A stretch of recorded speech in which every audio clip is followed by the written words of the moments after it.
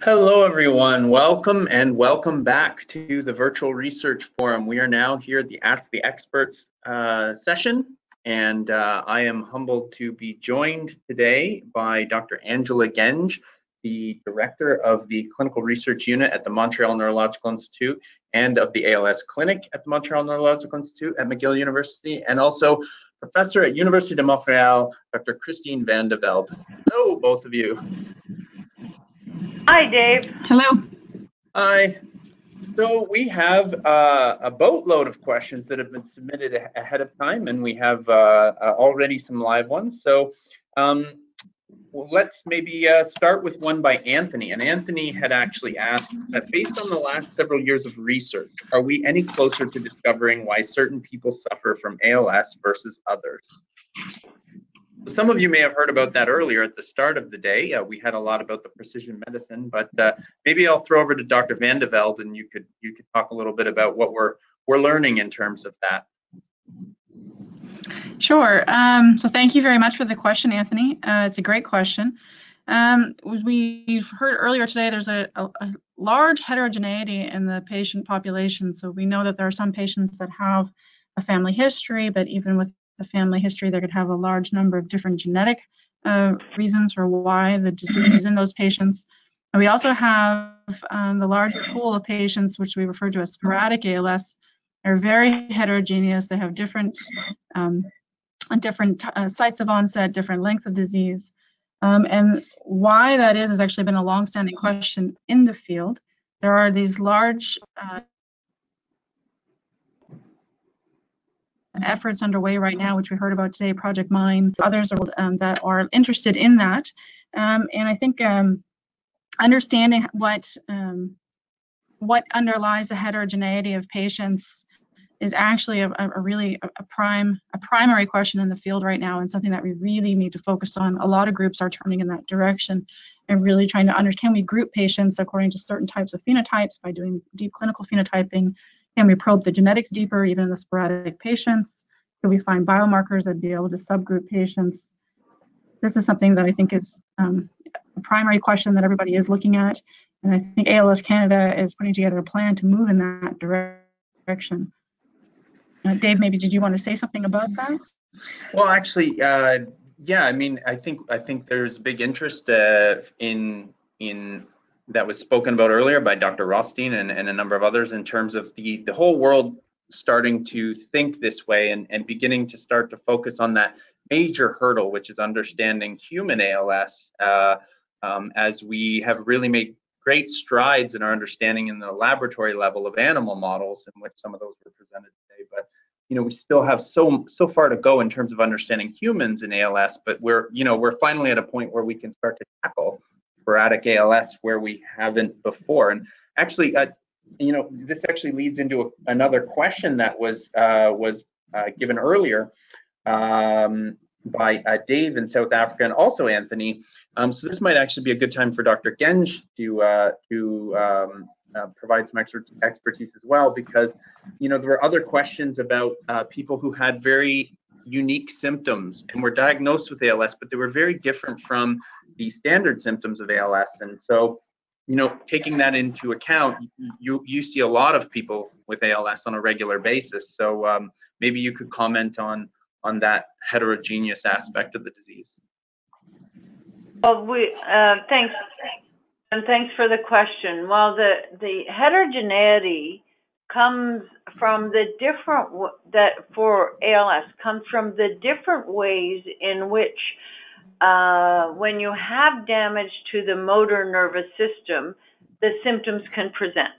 So, although we call everything that fits under um, under the motor nervous system in the body um, potential symptoms and signs of ALS, there are certain ones that we see commonly and others that we see much more rarely. And yet they're all ways in which damage to the motor nervous system can show up in a patient. So the typical uh, findings uh, when you're developing ALS are a slurred speech because the motor nerves that control your the muscles that allow you to speak get affected. Difficulty swallowing for the same reason. Rarely it can be, it can start with difficulty breathing. Again, not because of a muscle problem, but because the nerves, the motor nerves that control your muscles of breathing start becoming affected. But in your arms and legs, those symptoms can be even more variable. We talk a lot about fasciculations as a very common feature, but not everybody with ALS notices their fasciculations. We have uh, cramping, which is another common feature, but there are patients who do not have cramps.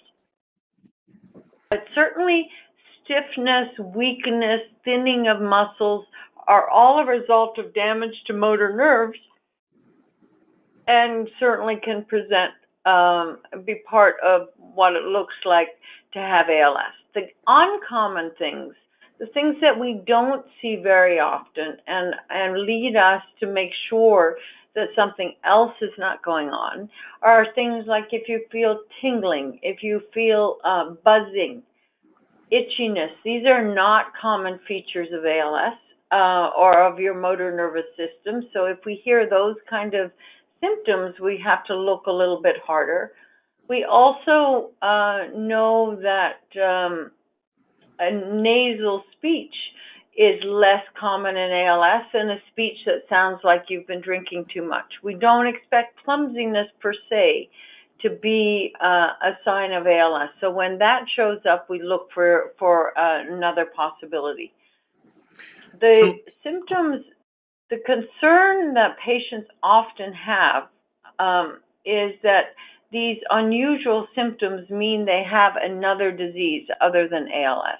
And in fact, although we're really, really close to having a marker in our cerebrospinal fluid that can help us say this is, fits the symptoms and the change in your in their cerebrospinal fluid both fit with ALS and your EMG test both all fit with ALS, so you're very confident of the diagnosis. If you have some of these unusual symptoms, then we take even more care at looking for what we call a mimic to the ALS. Does that help you, Dave?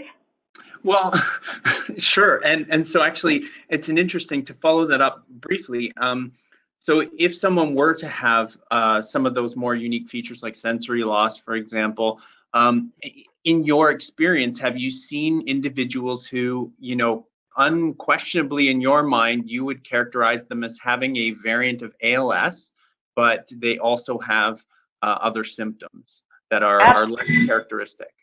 Absolutely. We all have patients who have um, at least one or two symptoms that are unusual for ALS. But um, but that it doesn't rule out that they that doesn't mean they do not have ALS. It means that they have an atypical variant. Um, and certainly when we see those kind of patients, we look extra hard for rare things that can mimic ALS. Okay. Thank you. So actually, for both of you, when you know to follow up on that, um, and and still a question from Anthony. Um, he also wondered about early detection and uh, of both hereditary and non-hereditary ALS. So um, this was something alluded to earlier a, a little bit with uh, uh, Martin Turner's presentation. Um, but uh, along those same lines, uh, you know, uh, what are the types of things that we can do or what we might be able to do moving forward um, to uh, detect the disease earlier and reduce that time for diagnosis.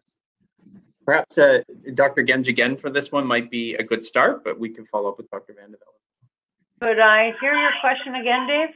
Sure. So in terms of, uh, you know, where are we at in terms of trying to increase the early detection of both hereditary and non-hereditary ALS?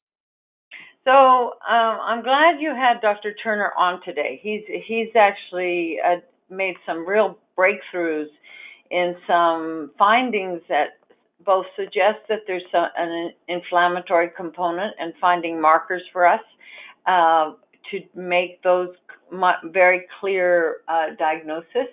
There is there is actually even another person um, who's led research for a few years now, Bob Bowser, who has come up with another marker that if we have it in this in the uh, cerebrospinal spinal fluid, the fluid that uh, exists around the brain, then that that is considered confirmatory for ALS and actually um, really helps separating out patients with ALS from patients who look like they have ALS but don't. Uh, what I've been calling ALS mimics. So these days, right now, our strongest candidates for a diagnostic test, a test that if you look like you have ALS and you, all of your physical examination and your EMG looks like you have ALS, there are now at least two different types of candidates. They're both currently found most successfully in a lumbar puncture uh, in the fluid, and both of these can really help us say yes or no, even early in the disease. So we're much farther along than we were, Dave, even a couple years ago. Yeah, and actually, I, if for for those who might have heard Dr. Turner's talk, there was actually a really cool idea I'd never thought about before, which is um, he had been talking about neurofilament uh, elevation in terms of uh, being a broad sort of marker for neurological damage or neurodegeneration. And you know, if you could standardize a way in which GPs could be able to do a very easy test to say, okay, is this something that you need to see a neurologist about at an early symptom time point? Then perhaps those people could get into an ALS clinic earlier than they normally would. And and that's a way of it, not being the ALS clinic that actually shortens the the diagnosis time but in conjunction with being referred to earlier so they can do the right tests uh, they might be able to diagnose earlier. So i thought that was really cool yeah, um, I agree. So, so actually, I'm going to switch because uh, uh, Dr. Vande might be great for the question from Dr. Kumar, um, thinking from an experimental uh, motor neuron uh, idea. So Dr. Kumar was asking in, uh, about a motor neuron model that might be more of a mathematical way to represent uh, what's happening in the disease.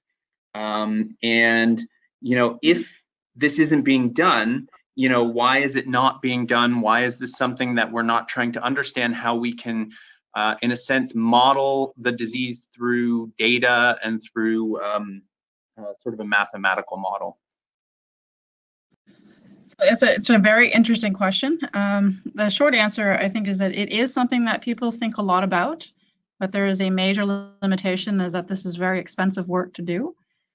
Um, there is uh, some big efforts out there to try to incorporate big data and artificial intelligence in order to mine this data um, to try to better um, mathematically, as, the, as Dr. Kumar referred to, uh, model the disease. One actually recent example of where um, AI has been implemented is the IBM Watson uh, project. This was led by Bob Bowser out of Arizona, in which they partnered with IBM and they fed uh, I think it was five years of data of papers, and maybe 15,000 uh, papers were imputed into IBM Watson. And then they asked IBM Watson, is that based on the data that was imputed, whether or not they could, it would make a prediction about other genes that might be linked to ALS, on the premise that there seems to be some trends that are coming out that the genes that are known to be linked to ALS sort of classify into maybe three or four uh, groups. And that work actually, which was published last year, really did actually reveal um, a potential candidate list for other genes for ALS, one of which I believe has now been um, tested and validated. That would be, I think, TIA1. Um, so that would be an example of where AI is being implemented.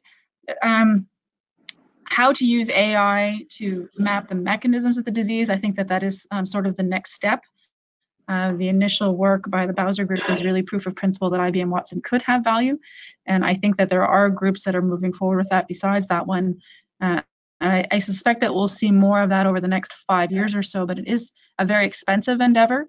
And um, the AI and these mathematical modeling, you have to train the models in order to be able to get predictive value out of them. Um, and so that takes time. Yeah, I think it's a really good point about the fact that yeah, I, I think the, the, the thought and the desire to do it is there. It's that unfortunately, you know, ALS is is still underfunded compared to a lot of the places where you're gonna you're gonna hear about those types of models made, and also the complexity of the central nervous system compared to um, you know, other types of cells where maybe they're able to do this type of thing.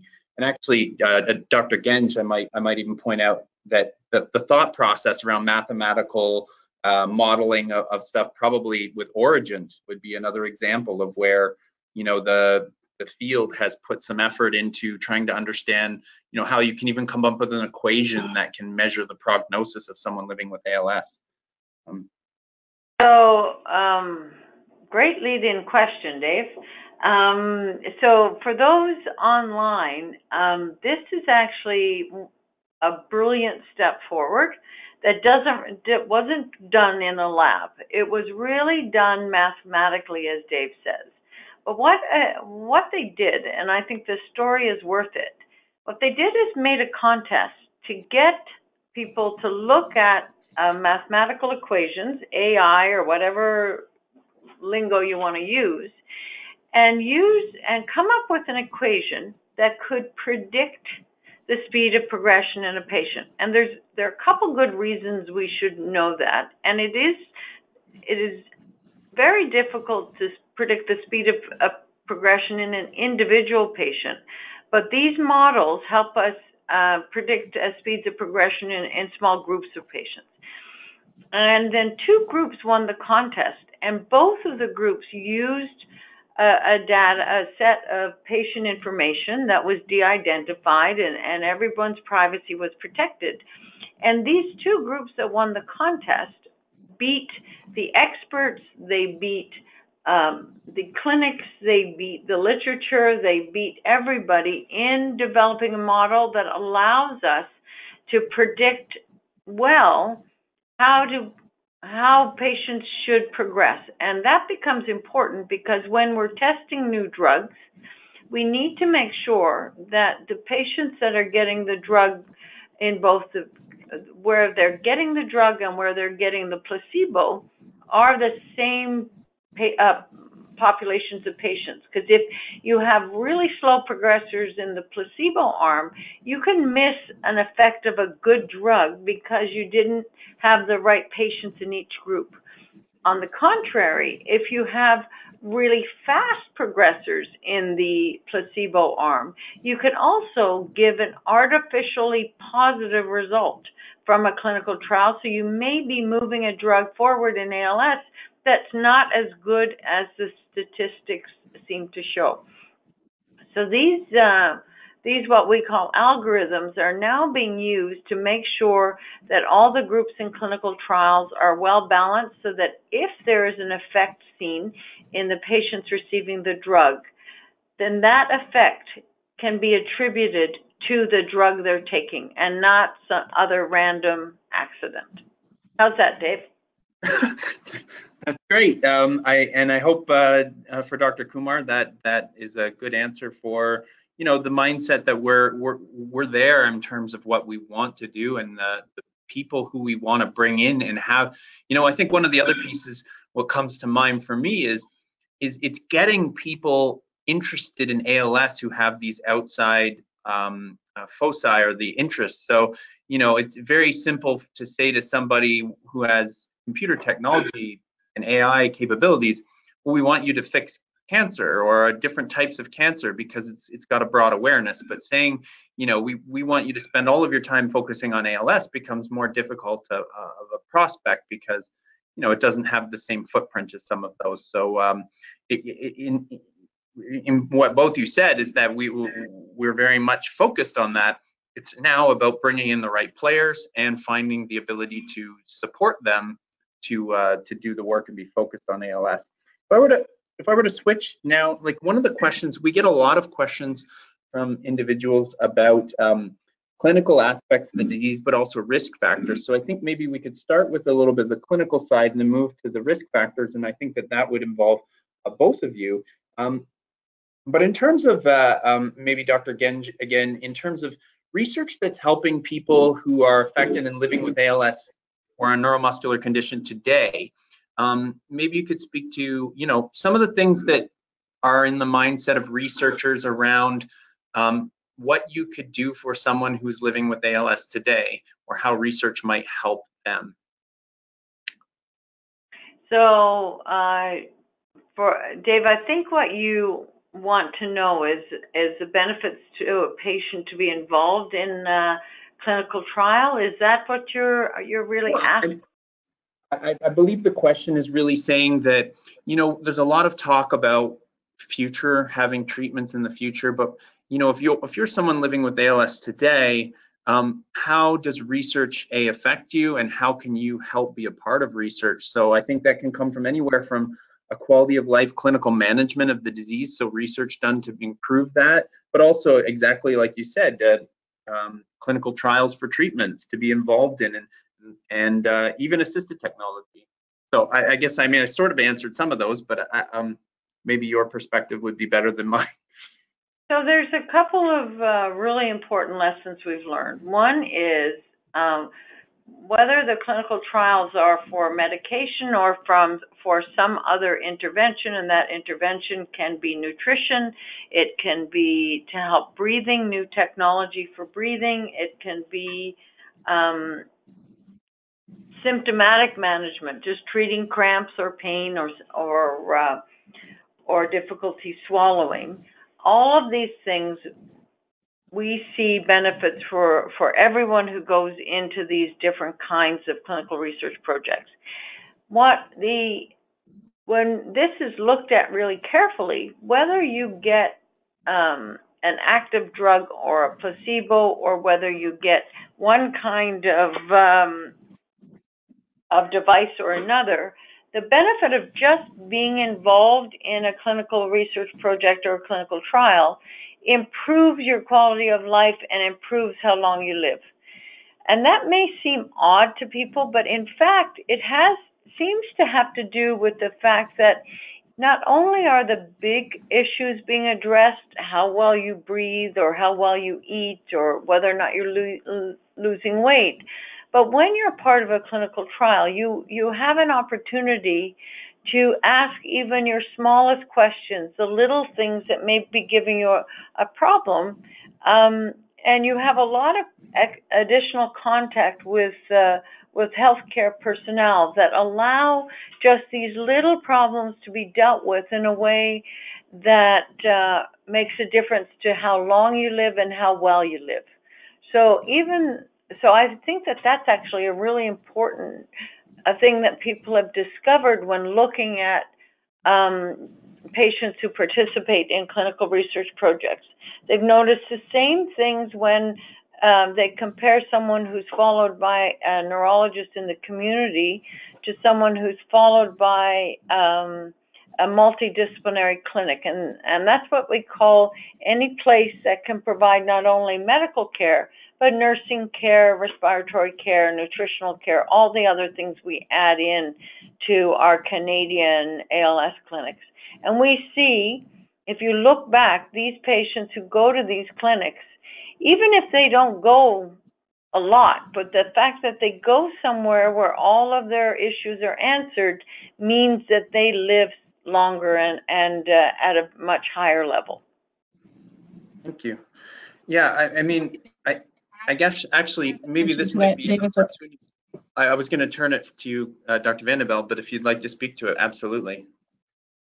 Uh, yeah, I think that everything that Angela said, absolutely, I think is is is true. And I, I think the other uh, thing to consider is that um, that the patients can participate in research without necessarily having to be in a trial, because of course there are, uh, you know, there's a subset of patients that don't qualify or they don't meet the inclusion criteria, for example, for a given clinical trial. So they can still contribute by allowing perhaps their genetic uh, information to be collected or deep phenotyping of their clinical symptoms, or they may uh, elect to later on. So they can all make a contribution um, to the research program collectively. So we're only going to be able to address that heterogeneity in the disease, for example, by being able to have large numbers of patients that are uh, agreed to be uh, deep phenotyped clinically and then having matching uh, imaging data and genetic data and perhaps even um, samples of blood that can be then taken where those cells can be converted into motor neurons in which we can then probe mechanism and why is it that one patient has a, has a particular fast disease versus another patient which has a shorter uh, duration of the disease. So those will be answered by being able to actually use patient cells that we can reprogram into the motor neurons that are lost in the disease. Thanks. So actually, I'm gonna I'm gonna take this opportunity as well because and, this is a question from Roger. Thank you, Roger. Um, you know, um, and and, as as we're answering this, I'm thinking about this also from another perspective in that, you know, when when someone living with ALS is wondering how are things, you know, we're talking about the future, how are things going to help them? Um, I thought maybe this would be good for both of you. And, and Dr. Vande Velde, I know you've been working on ALS from a, a molecular standpoint and trying to understand the disease from a molecular standpoint for two decades almost. Um, you know, so you'd be able to understand or be able to speak to the, the nature at which the researchers really do care about trying to get to something for some for people as fast as possible. And the, and the same hand from the clinical side, Dr. Genge, I mean, the, the, the passion that everyone feels for wishing we could get there faster, but still knowing that it's never going to be fast enough. And I thought maybe you could uh, you could quickly speak to the fact that you know people are really trying as hard as they can.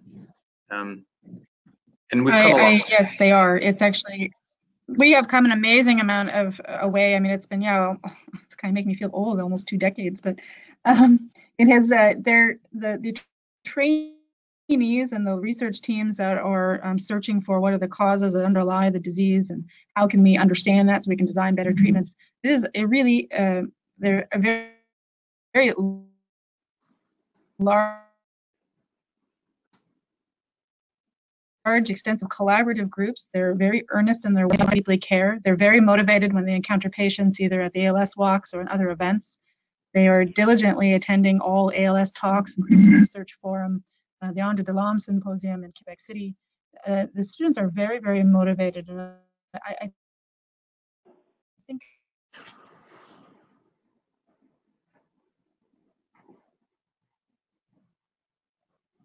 Do we listen? Oh, hello. it's something that is, it's not unique to my team. It is something that we're really trying to get now in the future. And Dr. Genge from the clinical. I think that the uh, the difference over the decades has been unbelievable. We've gone from um, we've gone from doing uh, clinical trials and drug development on on drugs simply because we needed to be attempting to find treatments to where we are in 2018 in October, where we have now drugs designed specifically for certain genetic mutations. We are starting to uh, test drugs that that affect very specific pathways, um, and we're gone. We've gone from one new drug to try every two years to six, eight, 10, 12 new trials by next spring. There should never be a patient again that is told there's nothing to be done. Patients should be finding or being referred to clinics that can offer them what is really new and giving them the opportunity to make a difference in their own lives by uh, participating, by treating their symptoms, by all the different things that we now have available. Okay, so I'm actually going to group a couple of the questions we've had from some of the individuals. Uh, we, we, frequently get questions about risk factors. And so if we put together some of the questions that we've had about pesticides, um, uh, exercise, for example, um, stress, uh, even the fact that some ALS may be clustered together into certain regions. I know that's a lot of questions at once, but um, you know, I was wondering if maybe we could start with Dr. Vande Velde, but like what over that time that you've been studying ALS, like what have we been able to gather in terms of that type of information? And uh, you know, obviously, it's it, those are hard things to, to, measure and to have any kind of definitive answer. Yeah, so it's a great it's a great set of questions, and I totally understand where they're coming from because it's hard to imagine that we wouldn't have a better handle on what are the risk factors. But um, the, the the answer is is that we're we're really still learning um, whether or not pesticides, for example, or other chemicals or cigarette smoke are linked to a higher incidence of ALS. is something that there is not broad consensus in the field um, in one direction or another. This is in part because um, the epidemiology, so the understanding the, the risks or the ex environmental exposures that individuals might have over the course of their life and how they, it tracks with uh, whether or not they develop ALS. There's not a lot of epidemiology that is done in the ALS space. Um, and this is something that has been identified as an under, underfunded area. Um, and I know that ALS Canada has uh, has looked to try to fill that gap, as of other agencies. Mm-hmm. And some of these larger efforts now that are out there, like Answer ALS um, mm-hmm. and Project MinE, they have components of that that are kind of built into that. So I think there's more information that will come in the next few years, but there doesn't exist a really a great consensus of whether or not, uh, for example, pesticides specifically are linked to the ALS.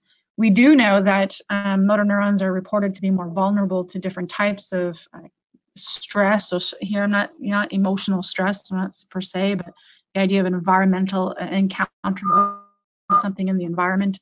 Um, we, we say that in the lab as true and in the animal models just looking at normal motor neuron physiology that seems to be true but yet despite knowing that we've never yet really pinpointed a particular agent that we know for sure will increase somebody's chances of developing the disease. The same goes for exercise. And in fact interestingly enough in mouse models of als exercise actually are beneficial is beneficial um, and slows down the disease progression and there's been some work on the mechanism of that but how to translate those mouse studies into how much exercise a patient should should do or not do is, is difficult and, and it's not a, it's not a linear relationship i don't think right and actually uh, uh, andreas had a question about head trauma or about trauma and uh, and that that follows around the exact same line of things is that there's some anecdotal beliefs here and there but there's just not enough done um, and enough big studies that have managed to uh, to accrue to any any kind of result that we could we could speak to. Um, and, and, actually, Dr. Genge, having you know, being someone that's that's seeing people with ALS on a regular basis, um, you know, what would your uh, typically be telling them in terms of th these types of aspects, trauma, um, different environmental factors, uh, exercise? Well, Dave, it's a good question. Um, and it's a question that's asked by at least 80% of patients because they want people want to understand they were well, they still feel well, and suddenly they have just been told that they have this uh, this very progressive neurologic disease, and yet they don't feel like they did anything to cause it. They often don't feel sick. So, uh, what I usually tell people is it's really important for me to document what you think you've been exposed to, that we have a little bit of information, but we're nowhere near being able to say that because you worked in um, in a pesticide heavy region that pesticides caused your disease, or because you were a football player, the football, the concussions caused your disease. There is there are trends, but there's no absolute uh, result that's still av- that's yet available.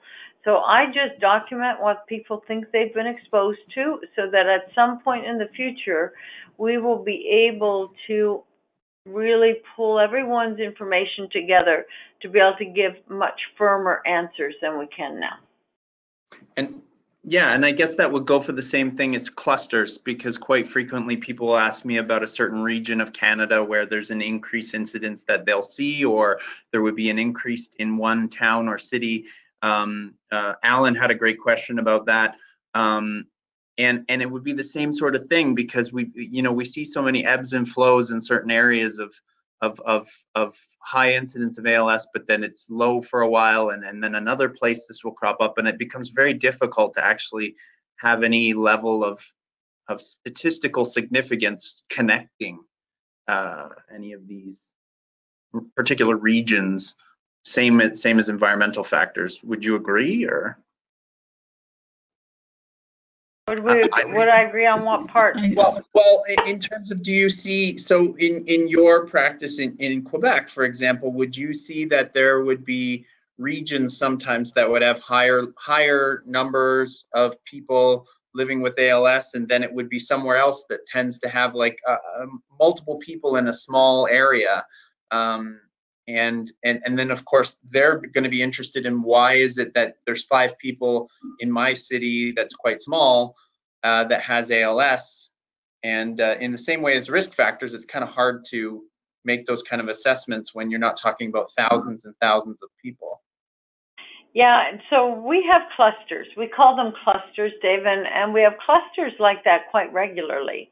Um, I think clusters ultimately are going to give us some really important information. So I never discount clusters. I just make sure I document them well.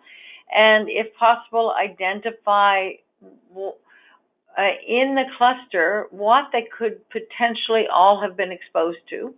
Um, not because I can use it immediately, but down the road I may be able to come back to uh, a group and say, yeah, we've, uh, you know, we've discovered that ALS is a result of exposure to this particular um, toxin, and it was in uh, your your brother, your parent was part of the cluster because it was in the water or the soil or something like that. We just don't have in none of the cl- clusters that I've identified over the years, and as I said, I've have have a number uh, throughout Quebec. They come to me from several different regions. I haven't yet been able to sort of nail the reason for the cluster, but I document all of them. Okay. So I'm, I'm gonna, I, I, am conscious there's gonna be, a, there are a number of questions we have about Radicava. So I, I would like to get to some of those. I'm just gonna follow one more question that we had from Bill and also uh, from another uh, person online just in the live questions, which is around the potential of ALS being contagious. And I think both of you can speak to this um, in, in different ways from people that think of the molecular aspects that um, some say some some say yes, some say don't, and, and then others who have who've talked about, for example, organ donation uh, with ALS. Um, so perhaps we can start with Dr. Vande Velde in terms of the idea um, that exists that you know whether or not there would be a, a transmissible factor in ALS. So the, the short answer is that as of as of now, to date, there is no evidence that um, ALS can be transmitted from one individual to a next to, to another, just by contact or anything like that. In the animal models, there is interesting data that speaks to how the disease might spread within the nervous system of, a, of one animal um, but not we, we frequently house um, mice that uh, will develop ALS in cages with their litter mates, so their brothers and sister mice that do not have the gene that would encode for them to develop ALS. And we have never seen a, a, a non-ALS mouse develop ALS. So that would be evidence, uh, further evidence that there's no there's no uh, contagion here that is passed from one individual uh, to another. Yeah, and actually, even in the mice, we've we've heard of studies that have happened where they've tried to sort of mimic one mouse to the other, and uh, and and and had not been able to come to any uh, any no. proof that that actually could happen. Um, yeah. So um, on on that note, it was Dr. only inject directly into the central nervous system. Right. So, and, and Dr. Genge, in terms of that same sort of question, and you know, what's the sentiment of people who talk about organ donation for individuals living with ALS? Uh, so the, issue around organ donation is, is it's a double-edged sword. There's no there is no research reason why you could not donate your organs with ALS. There's no evidence in all the research that everyone is doing that there's something transmissible and therefore you should be able to donate. However, when you actually look at all the information around organ donation, one of the criteria for not being allowed to donate is if the cause of the underlying disease is not identified. And that is the line that tends to prevent patients with ALS from donating most of their organs. I believe they can donate their lenses, but it is a line not that it is transmissible, but rather that we do not, we cannot give them the cause of ALS. So it does limit what you can um, the ability to um, to donate your organs for living transplants. Um, we have, um, but we have a lot of work going on uh, to uh, use anyone who's prepared to donate their their brain and spinal cord to science, uh, in which we're working very hard to use these uh, these donations with the utmost respect and to try to speed up our, our understanding of the disease. So organ donations to a human um, recipient, a transplant, very limited if you have ALS because we don't yet know the absolute cause. Donations uh, to uh, for science to science by ALS patients very gratefully received because the more we are able to test our, our science on these tissues, the faster we can learn what is really going on in the disease. And I'm sure Dr. Vande Velde would agree with would agree with me on I, that. Okay, she's. I think she agrees. Um, so I'd like to. Oh, did you want to speak or did you? Okay. So actually, I think maybe we could quickly spend 10 minutes on Radicava um, because I think that that's having been recently approved by Health Canada. I think there are a number of questions that have come from that. And then maybe we can spend the last 10 minutes just wrapping up from a clinical standpoint in terms of clinical trials for five minutes, and then also from the molecular and and and and uh, the understanding uh, point of you know really where are we at and what what can we say to people in terms of what we can expect in the next several years with regard to both of those. In terms of Radicava, uh, Dave, Marnie, and Lloyd all had questions. If I group them together, I think I could probably take one of them, which is what's next now that it's approved, and how do we um, talk about coverage? Um, will the provincial healthcare system subsidize this? Um, quite uh, straightforward on this in terms of we don't know yet what's going to happen with that. What happens after Health Canada approval is it, um, and during Health Canada's uh, assessment of Radicava, um, there's a process that's ongoing uh, with a, a body called CADTH and also in Quebec called INESSS. And they ultimately are assessing whether or not um, they can provide a recommendation to the provinces as to whether or not they believe this should be covered and whether it should be covered um, uh, under uh, the uh, public system of healthcare um, uh, widely or for a subset of individuals. And, and, and once they've made that recommendation, um, there are a number of other steps that occur. So there's a, a, a, what's called the PMPRB, which will help to set what the price in Canada will be. There's also a Pan-Canadian um, alliance, which involves um, the, the provinces being able to work together to decide on a potential recommendation. And then it will go to each of the provinces individually to decide whether or not they will cover this on uh, their provincial formularies, meaning that you'd be able to get it prescribed and actually be able to get it without having to pay outright for the cost of the drug.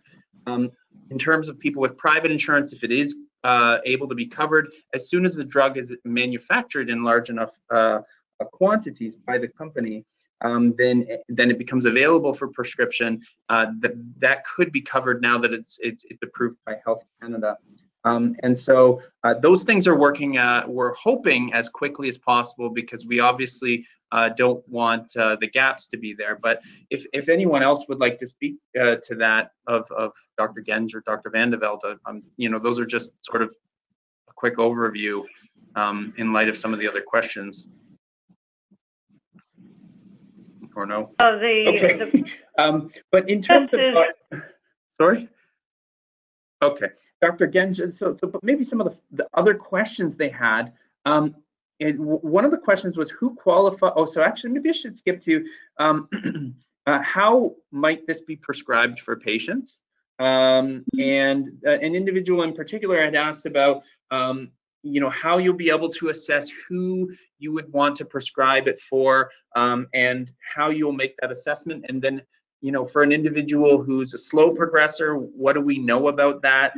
Um, and uh, essentially, how do we then access it? Because someone also asked about ordering the drug.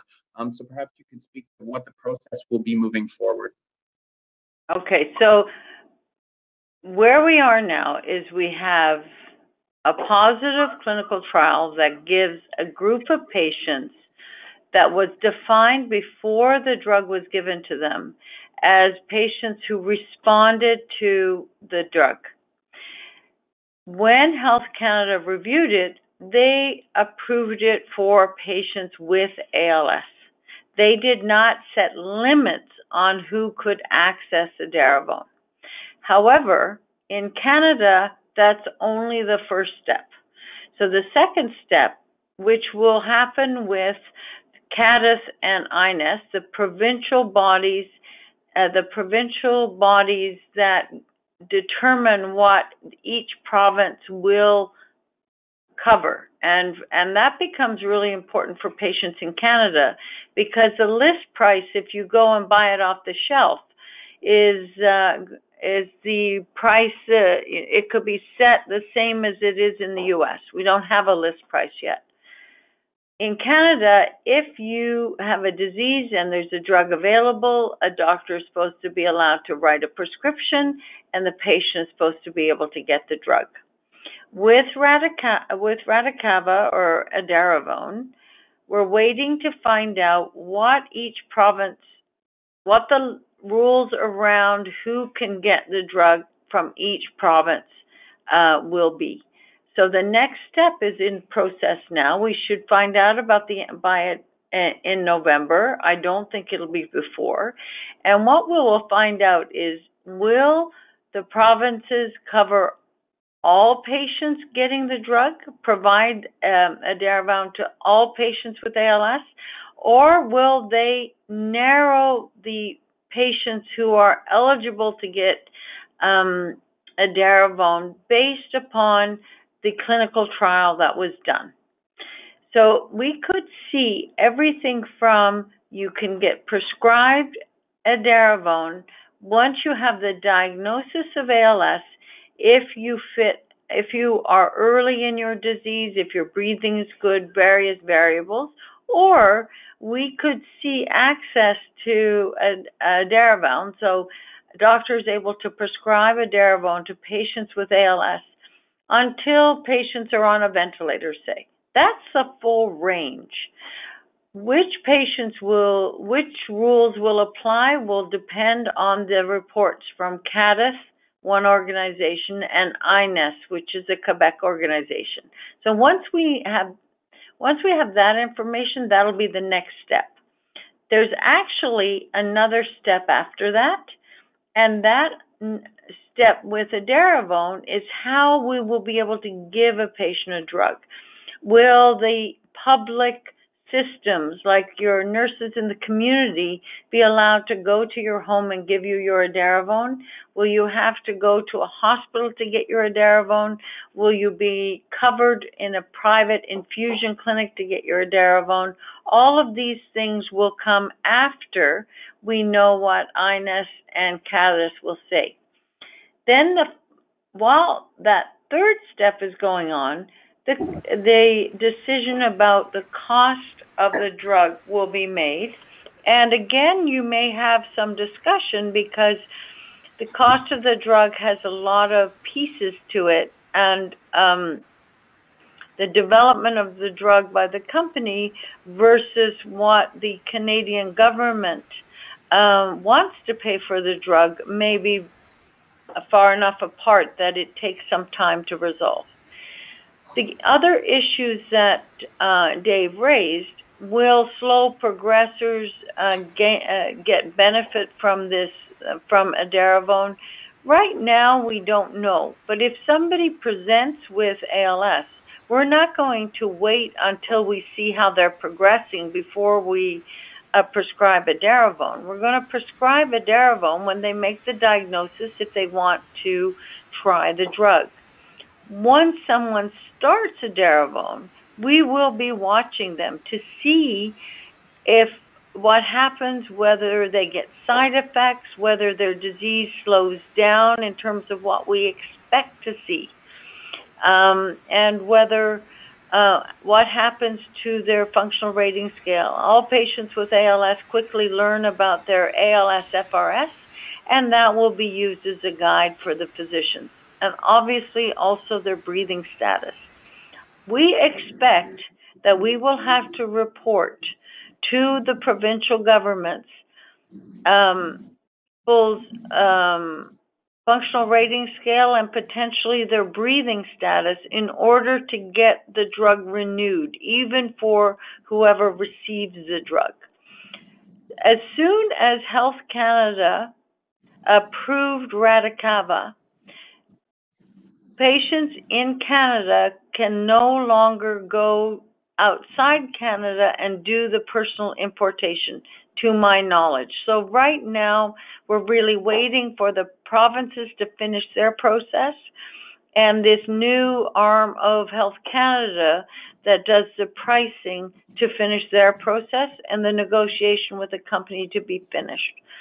But any patient who's newly diagnosed with ALS in Canada will have a discussion with their neurologist at the, their multidisciplinary clinic to determine whether they want to try Radicava or not.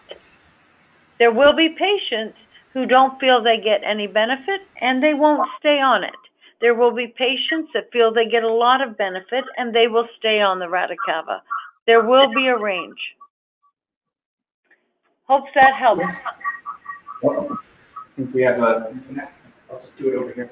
Um, do you wanna? oh, Sorry, thank you for that. I just have to say that if I was talking over either of you at some point, um, I apologize because the sound wasn't coming out of my computer, so I couldn't hear if someone was speaking. So we're doing it from two computers right now.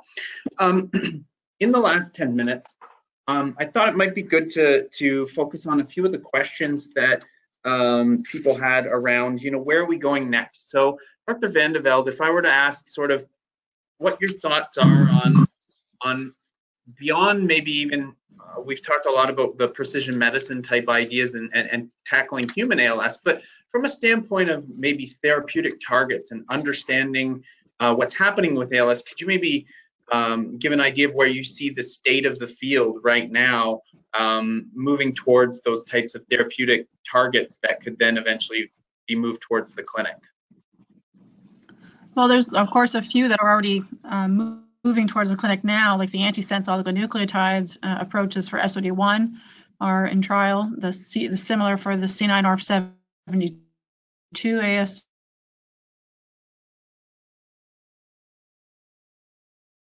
So that's um, gone to trial as well. I believe it's enrolling now. There are, um, there are other good molecules that I'm I'm not totally versed in, but some of the good therapeutic ideas that are out there are to look at how RNA granule biology might be impacted in the disease.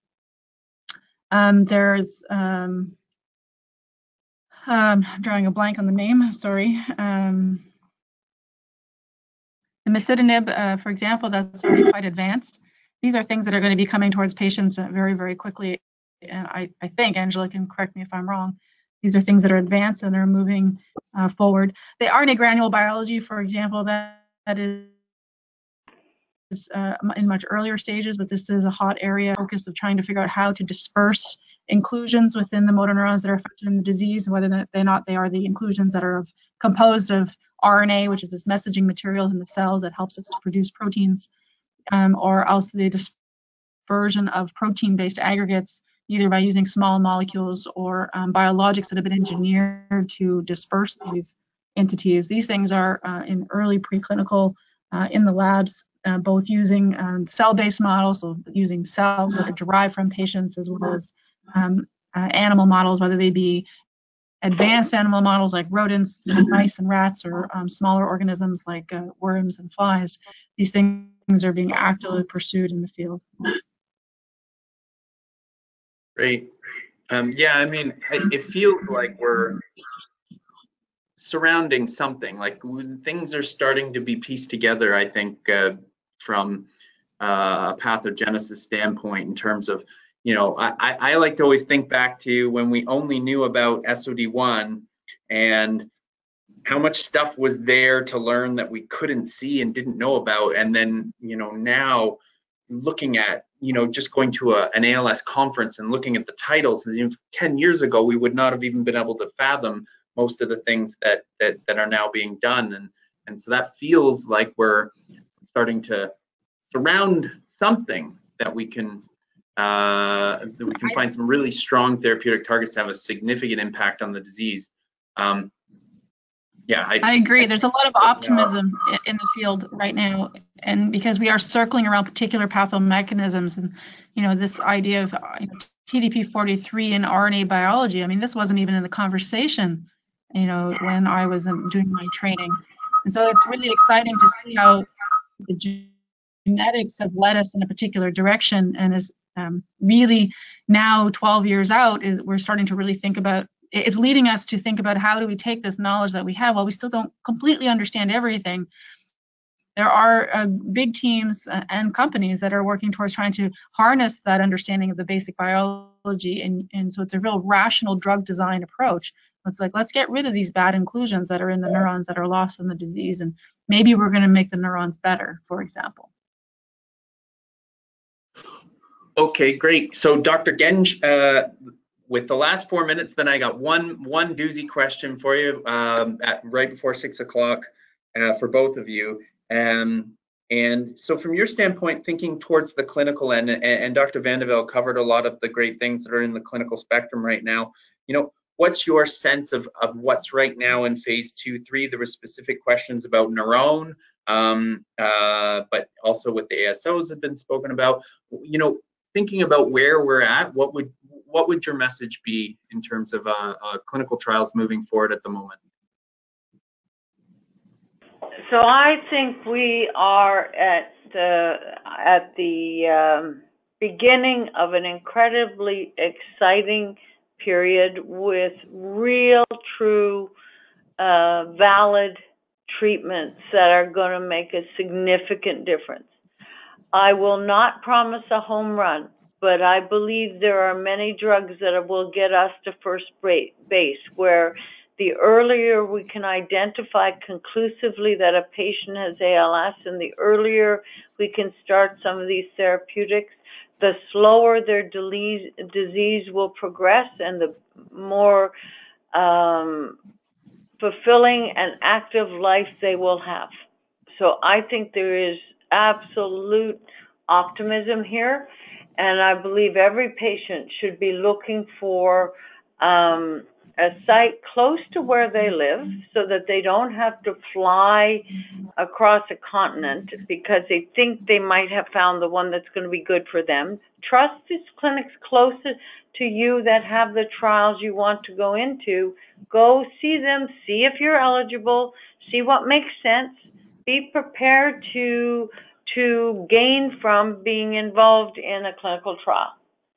And those of you, those patients whose disease are a little bit farther along, as as Christine mentioned, there are projects for uh, patients at every stage of their disease that are infinitely valuable. Take the opportunity.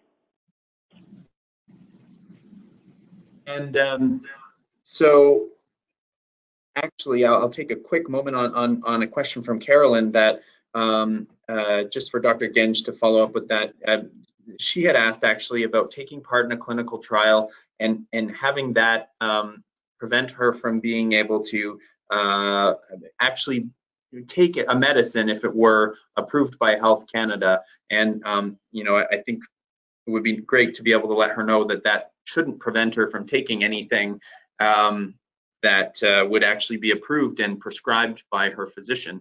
Um, but from your medical expertise, perhaps just the their their only type of trial that will prevent you from getting into a clinical trial uh, into their trial right now uh, is the stem cell trial. And the stem cell trials are the one thing that separate you and, and do limit you uh, in what you can do, in what else you can participate in, and what other drugs you can be on. At this moment, there are only two um, clinical trials that are properly run clinical trials involving stem cells. There's a lot of stem cell stuff on the internet that is not accurate, but there are two trials, uh, the most famous being Brainstorm, If you want to go in brainstorm, you cannot be on Edaravone or anything else. And if you go in brainstorm and receive stem cells, you cannot go into other trials. It's very much one thing only. Other than that, clinical trials are now allowing people in if they're on Edaravone. Clinical trials have always allowed people in on Riluzole. And as drugs are approved, they will be added and people will be able to stay on the new drugs that they get and still go into new trials. That's the way trials work. Great. And so we are almost at, six o'clock. It's so easy to talk um, about all of this stuff, and we had a number of things we didn't get to. So please, if I didn't, if we didn't get to your question, please feel free to reach out, and we can try to, um, I, I can try to respond to some of these offline. But I want to end with one question that I think can encompass a large part of the questions that we we've got, um, which is from each of your standpoints, and I'd be happy to give my opinion as well. Do you think if there was anything out there in the world that really worked, as someone might say it works, to slow down progression of ALS, that we would know about it or find out about it through the various international collaborations that are going on and the, the hard work of people across the world. My, my sense is if anything was out there that actually did do this, we would know about it and we would tell everyone if we truly uh, had the scientific evidence behind it. But what are your thoughts, Dr. Vin?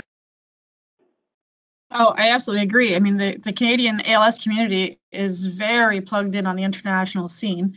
I mean, Angela, Dr. Genge is actually one of the top recruiters for several of the the big American trials and other international trials. I mean, our, our Canadian community is very plugged in. We have many of us have collaborators that span the globe. If there was something out there that was working in a clinic for a subset of patients, um, Canada would know about it and it would be quickly disseminated um, through the various clinics um, uh, and, and examined carefully. And if there was something that was truly working, I don't think there's any clinicians in this country that would deny access to some, a real therapy to any of their patients. Well, and I think you can see that with the way that we've approached Edaravone. Um, and the way we're approaching brainstorm. These are, we will never hold a patient back from getting a drug we think works. We will, in fact, become partners to patients to get access to drugs that we believe have a benefit. Our motivation is for patients with ALS to live better and to live longer and to be with us. That's our motivation. Wonderful. Well, thank you very much, both of you. That is a quick hour, uh, at least from my side. I hope we were able to uh, answer as many of the questions as people, uh, or at least many of the questions that people had. Uh, again, if you uh, have follow-up questions, you can feel free to reach out to me and I can um, endeavor to find you the, the answers or at least uh, some help on those questions. But thank you both of you for joining us today on the Ask the Experts. Hopefully we can do this again sometime soon. You're welcome, Dave. Thanks for asking me. Have a great evening. Thank you. You too. Yes, thank you, Dave. It was a wonderful opportunity. Much appreciated. Thanks, both of you.